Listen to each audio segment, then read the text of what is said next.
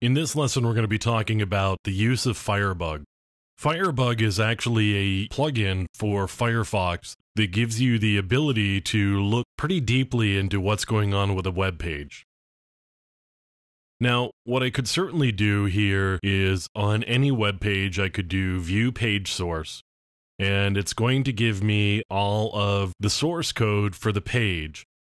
And I could certainly dig through this and try to find exactly what it is I'm looking for. For example, if I wanted to find that search box there, I could go digging around here, and as it turns out, looks like what I've got here may be the search results. I could certainly dig through there and find what I'm looking for. And maybe it's easy, maybe it's not. Sometimes you'll find a site where everything is really strung across on one line and it makes it really difficult to read. How does Firebug help with that?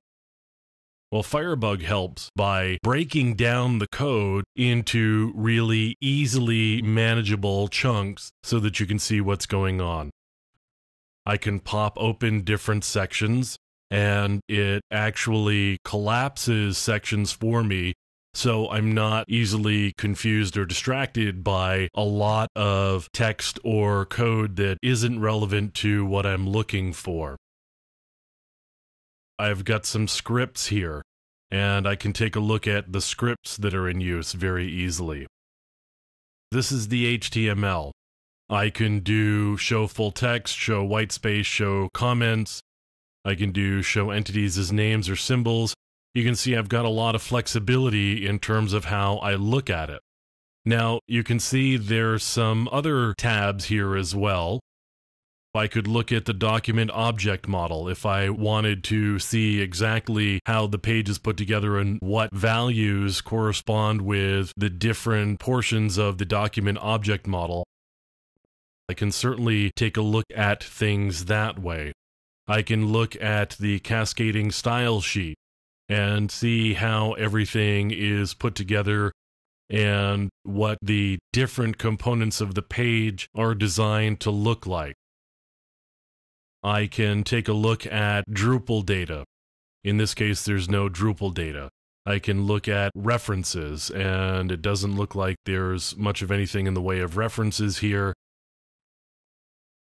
I can really break down the way I look at the page into a lot of different areas and look at it much more easily.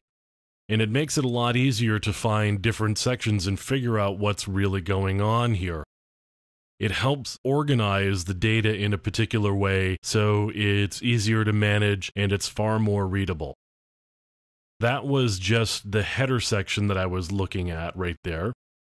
I could now collapse the header section, and now I want to look at the body. I've got some additional scripts here, and I can look at the scripts that are embedded into the body here. And I could go looking for the different areas where I actually had some data that I wanted to look at. Maybe I wanted to find the search box right here may make this a little bit easier to find the search box if I were to break all of these open and I could search a little bit better that way. In this case, I've actually got some frames and I can go looking through the frames to see where I've got some more sections of the page. This gives me the ability to more easily break out the source code for the page helps me look at what's going on a little bit better, which may provide me with some insights into how I could actually go about breaking the page down and finding all of the hidden values in the search boxes and all of the information that I may want to break into this particular page and causing some problems with the site and maybe doing some cross site scripting or finding ways of doing command injection this gives me the ability to actually not only see the individual components, but also gives me the ability to figure out what JavaScript is associated with it. Again, I can certainly do all of this just by going to view page source. But the fact that I can do it more easily and it provides me some context with where I am within the page is really helpful.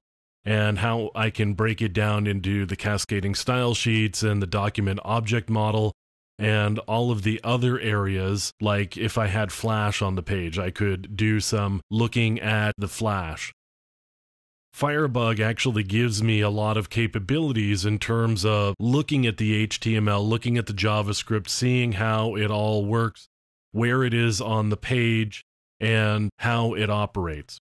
That's Firebug inside of Firefox.